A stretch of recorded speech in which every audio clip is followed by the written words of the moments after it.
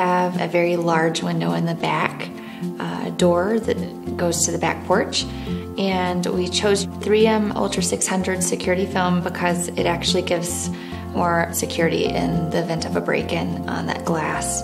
So far we haven't had to use it, so that's good. Um, I, but it is nice when I am home alone with the kids and I have that extra sense of security back there knowing that, you know, one more step before someone comes into our home.